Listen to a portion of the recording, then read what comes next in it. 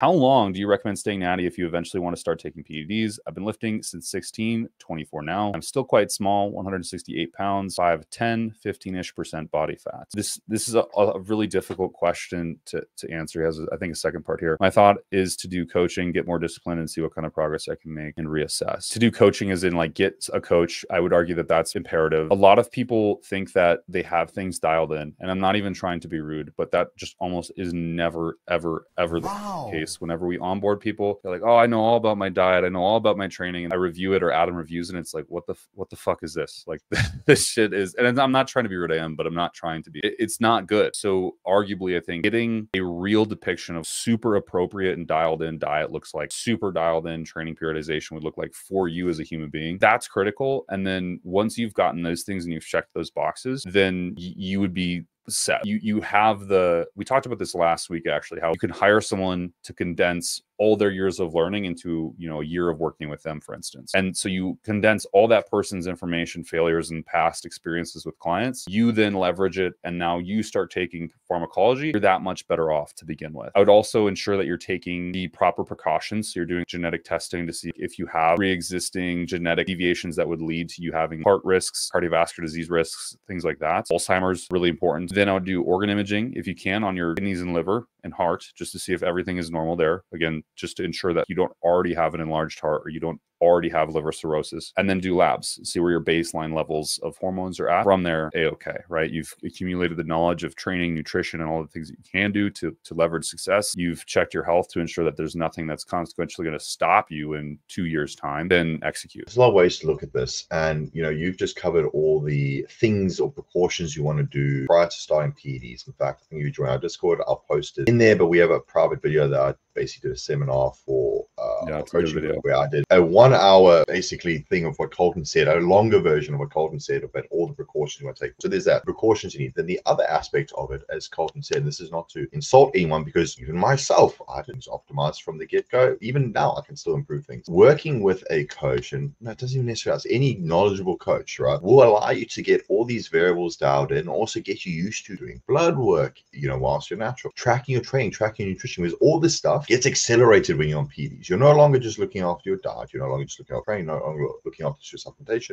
but now you have to consider your PEDs and the related side effects. Now you have to consider your blood work. Is it becomes a much greater endeavor. And I say to individuals who are, who are natural and who are considering it, if you are barely ticking those boxes as a natural, come on, dude, you're not going to suddenly start taking tests and like, okay, now I'm going to start tracking my weight. Oh, now I'm going to start tracking my calories more. Oh, now I'm going to start getting blood work. Like, no. So what I say is use working with a coach as a trial run to sort of get used to, because like, you know, this is just us, uh, Guess, plugging us a bit. Okay, we are very meticulous with metric tracking. I have a lot of metrics that I track with most of my high level guys. Okay. This is less so the lifestyle guys, but more so the competitive guys, all the people looking to really develop this physique, a lot of metrics that they track. And if you're unable to track those metrics consistently, you're hell not going to have the consistency to do your blood work, mitigate side effects, do daily shots, etc. Do that to learn how to really optimize, you know, all aspects of your diet. And then if after, you know, as Kolton mentioned, you've done all those checks when it comes to your health, then consider, you know, using a small dose of testosterone again under the supervision of a coach and or hopefully a clinic which uh, you know can give you actual pharmaceutical stuff and that typically is the best way to go because again many individuals will like just start pinning okay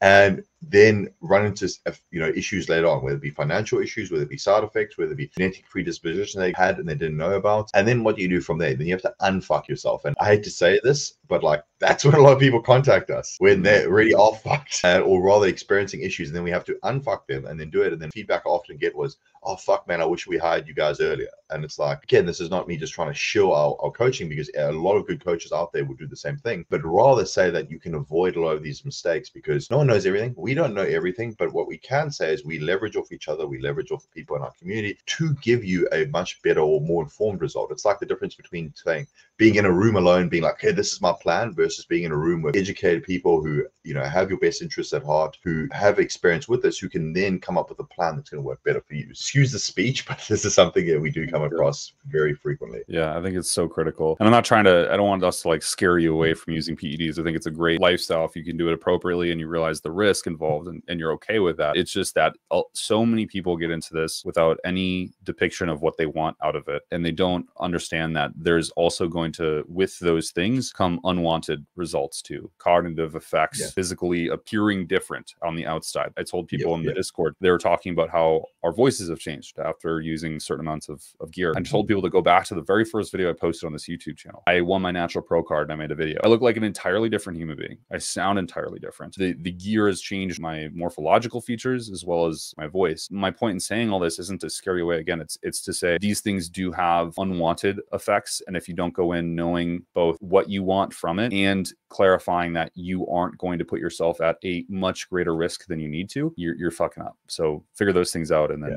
you know, you're, you're And, and, and last and la- last thing I'll say about, about this, and you guys can tell me shut the fuck up. If you can't afford monthly coaching, two or three months to assess this for you, then you shouldn't be running PEDs. Because when you hire a coach, most people are charging anywhere from like I don't know, two fifty USD all the way up five hundred USD Greg month. Doucette's okay? 2,500 or something like that per month. or, or whatever the fuck he is, okay. Uh, but the point being is, if you do run into issues, okay, like you know, you're getting maybe gynecomastia or you're getting significant hair loss, you know, even if you're getting issues with your heart or cardiac issues, which I've had people come to me before, all those issues are going to run you in medical costs way more than three, four hundred, you know, USD a month. In addition to that, you might say to me, well, Adam, I'm in Australia with Medicare or something like that. Good luck finding a doctor where you tell them that you take PEDs, that they're not just going to tell you, just get off PEDs, you'll be fine, or you're on PEDs, you're fine. Because finding a doctor in a lot of those systems are going to be very, very difficult. All I'm trying to say to you is that the investment cost, because I'm biased, because this is what we do, but I generally think the value that we give for what we charge, I think is pretty astronomical. The Pretty fact that you can yeah. contact us basically 24 7 and have someone guiding you through every single aspect. I mean, that will save you so much money in the long run as opposed to winging it yourself and hoping, oh shit, I'm not going to get, get side effects from this. Because again, most of the time when the guys come to us and they do have issues, it costs them a lot of money. Like have guys, you know, having to get multiple sets of organ imaging,